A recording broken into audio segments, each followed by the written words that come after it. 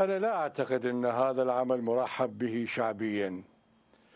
لأن لو نظرنا بكل بساطة إلى مكونات الشعب العراقي المكون الكردي لا يرغب به لا يرغب بهذا العمل ولا يتفاعل مثل هذه المحاولات ومثل هذه الممارسات وهو حاضن وهو مرحب بالوجود الأمريكي ويعتبر الوجود الأمريكي حاميا له وهذا ما سمعناه مباشرة على ألسنة القادة الكرد. وأما المكون السني فالمكون السني هو يرى في نفسه إنه قد يكون مهدد أو قد يكون مزاحم أو قد يكون في موقف ضعيف فيما تجاه الآخرين أو خصوصا تجاه الشيعة. أنا من الناحيه السياسيه دا أتكلم يعني. نعم. ما له علاقة بالجانب الطائفي والجانب ولذلك يجد إلى انه في الوجود الأمريكي أشبه بالحائل دون هذه المحاصرة ودون هذه المتاخمة ودون هذه المزاحمة. كذلك الشيعة ليس كلهم هم مع آه، خروج القوات الأمريكية ولا مع هذه العمليات المسلحة. لأن هذا المكون أيضا يقول نحن شبعنا قتلا وذبحا ومن 1958 إلى هذه اللحظة تعرض الشيعة إلى مجازر وتعرض إلى إلى مذابح. فيقول لك نحن نريد أن نعيش ونريد لأولادنا أن يكملوا دراستهم ونريد أن نترفه ووجدنا وتقطع ألفاس سنة بعد سقوط الصنم. لذلك لا أعتقد أنه مرحب به من قبل الشعب العراقي بهذه الصورة التي يحاول أن يطرحها الفصائليون.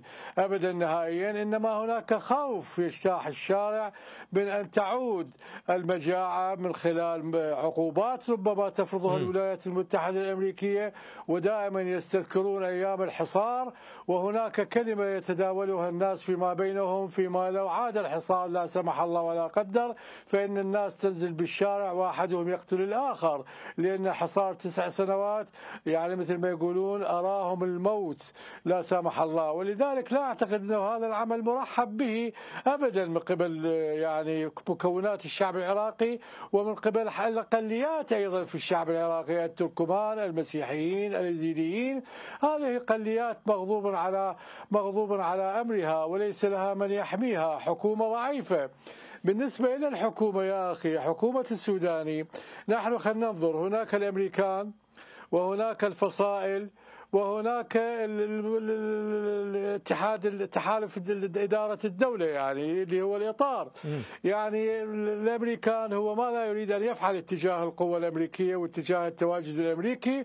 وبالأيام الأخيرة عندما صارت محادثات على أساس لانسحاب القوات الأمريكية ووضع جدول زمني للانسحاب صرح الأمريكيون والبنتاغون إلى أن هذه المحادثات ليس لها علاقة لا من قريب ولا بعيد بالانسحاب أبدا نهائيا. وك وكذلك الحكومة أيضا أصدرت بيان بأنه هي آه، آه، تريد أن تحافظ على الاتفاقية وتضبط إيقاع الاتفاقية وليست هي في وارد وضع جدول انسحاب بشكل واضح. أيضا لو نجي إلى الفصائل المالكة الحكومة ليست لها قدرة على الفصائل. وكذلك بالنسبة إلى الإطار التنسيقي الإطار التنسيقي الأخ السوداني هو محكوم بالإطار التنسيقي. طيب أستاذ غالب يعني بهذه الحالة يعني الحكومة تريد أن تقول بأن حكومة السودان بين نارين. طيب أليس لها خيار بأن تتحرك لمصلحة العراق خصوصا بأن هنالك من يريد توحيد الساحات؟ هل العراق معني بتوحيد الساحات؟ العراق كحكومة لا يريد توحيد الساحات بما فيه الإطار التنسيقي لا يريد أن يدخل في هذه المعركة لأن يعرف نتائجها وخيمة عليه وعلى غيره. هذا واقع يعني. وهناك من يرى أصلا إلى أنه إذا خرج الأمريكيون وإذا يحدث فراغ لا يستطيع أحد أن يملأ هذا الفراغ. ولذلك. لأنهم يخافون من الفراغ. يعني حتى إذا كان عندهم حقا تفكير إلى أنهم ضد الوجود الأمريكي ويريدون انسحاب الوجود الأمريكي ولكن يفكرون تفكير دقيق يقول لك إذا انسحب الأمريكيون من يملأ الفراغ؟ وأنت تعلم إلى أن أكثر من مواجهة مسلحة حدثت داخل الفصائل.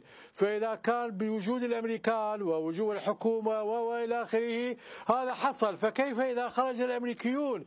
ولذلك هم يخافون يعني الاطار التنسيقي قلبه الاطار التنسيقي عقله وعاطفته وعقله مع الوجود الأمريكي لأنه هذا يمنع تداعيات يتحول إلى تداعيات.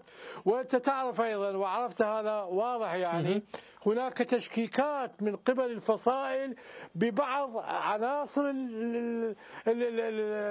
الإطار يعني. حتى اتهم النجباء اتهموا فصيلا اتهموا عنصرا معينا موجودا في الإطار بأنه تعاون مع السوداني وأعطاه إحداثيات نتيجة للعملية التي قام بها الأمريكيون والتي نتج عنها آه، قتل آه، نعم. أحد قادة النجباء.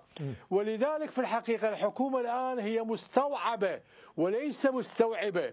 يعني اللي يقول إلى أن حكومة السودان استوعبت الأمريكان واستوعبت الفصائل هذا كلام غير دقيق.